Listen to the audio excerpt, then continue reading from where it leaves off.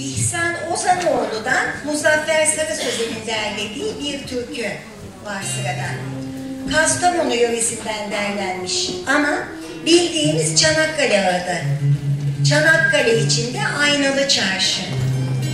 Bu güzel ülkeyi bizlere bırakmak için canlarını veren tüm şehitlerimizi saygı ve minnetle anarak dinliyoruz türkümüzü. Solistimiz Nihat Köşker.